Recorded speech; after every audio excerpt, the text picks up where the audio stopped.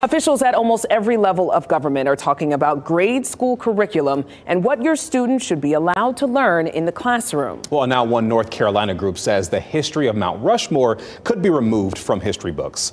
Paul Specht checks that claim for PolitiFact. Does the political left want to stop people from learning about Mount Rushmore? Well, that's what the North Carolina Republican Party implied in an email to potential donors, as you can see here. This caught our attention because erasing Mount Rushmore from history books would certainly be news to us here at WRAL.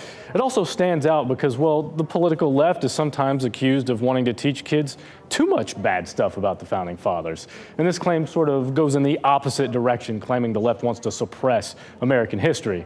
Now, you might think, what could be so bad about Mount Rushmore, of all places? Well, it's on land that originally originally belonged to Native American tribes, and the main sculptor has ties to white supremacist groups, as you can see here documented by the Smithsonian Magazine. So if you search the internet, you might find stories about that history or about Native American groups wanting the land back or about whether the monument is racist.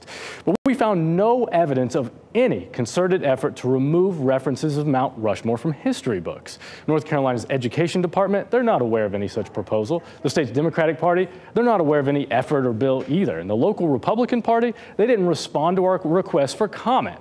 And this webpage, this is what their email linked to, it doesn't really offer any answers either.